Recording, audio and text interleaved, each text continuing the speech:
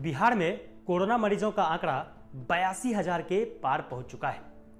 420 लोग कोरोना से अब तक जान गंवा चुके हैं। बिहार के बदहाली के लिए क्या ही कहा जाए? एक और कोरोना मरीजों का आंकड़ा बढ़ रहा है। वहीं लोग अब भी बेपरवाह हैं। आज 3021 नए कोरोना मरीज़ मिले हैं। 10 अगस्त को कोरोना मरीज़ की कुल संख्या बयासी हो चुकी है। खतरा हर रोज बढ़ता जा रहा है। कोरोना के खौफ से हड़कंप मचा हुआ है।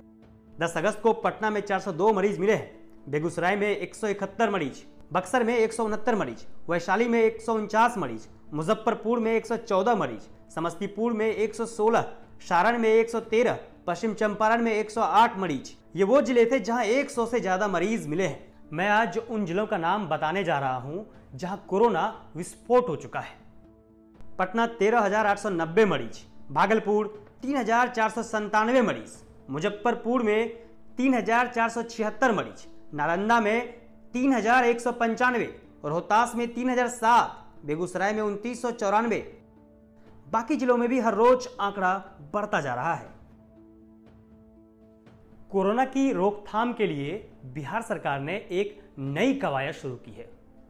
कवायद ये कि अगर आप कोरोना मरीज़ के अटेंडेंट हैं तो आपको दूर से ही पहचान लिया जाएगा और आपको देखकर लोग अस्पताल में अलर्ट हो जाएँगे। बिहार के सभी मेडिकल कॉलेज अस्पतालों में कोरोना के मरीजों और उनके अटेंडेंट को अपनी कलाई में हैंड बैंड लगाना होगा। दोनों के हैंड बैंड के रंग अलग अलग होंगे ताकि कोरोना संक्रमित और अस्पताल में मौजूद रहने वाले उनके अटेंडेंट के बीच अंतर पता चल सके। स्वास्थ्य विभाग ने अस्पतालों में संक्रमण को फैलने से रोकने के लिए यह कदम उठाया है। अस्पताल प्रशासन अब कोरोना संक्रमितों और उनके परिजन जो अस्पताल में रहते हों, उन्हें यह हैंडबैंड उपलब्ध कराएगा। इससे अस्पताल में दूसरे रोगों के इलाज के लिए आने वाले मरीजों के बीच भी अंतर किया जा सकेगा। उन्हें कोविड वार्ड की ओर जाने से रोका जाएगा। अस्पताल को संक्रमण से मुक्त रखने की दिशा में ये कवायद की जा रही है। स्वास्थ्य विभाग के निर्देश पर राज्य के सभी सरकारी मेडिकल कॉलेज अस्पताल में 100 बेड के कोरोना वार्ड बनाए गए हैं। इसके अलावा नालंदा मेडिकल कॉलेज अस्पताल, अनुग्रह नारायण मगध मेडिकल कॉलेज एवं अस्पताल गया, डीएमसीएच दरभंगा और जेएलएनएमसीएच भागलपुर को विशेष कोविड अस्पताल घोषित किया गया है। दूसरे मेडिकल कॉलेज अस्पतालों को 100 बेड के वार्ड कोरोना मरीजों के लिए बनाए गए हैं।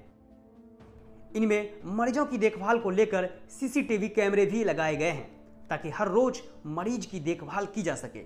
इन सीसीटीवी को वार्ड के प्रमुख डॉक्टर के चैम्बर से जोड़ा गया है, ताकि वो हर पल देख सके और मरीज़ को ज़रूरत के हिसाब से दवा और अन्य चिकित्सा उपलब्ध करा सके।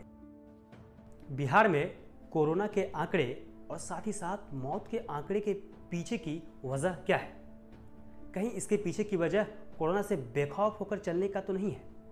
अगर ऐसा नहीं है तो बिहार का मंजर ऐसा क्यों दिख रहा है?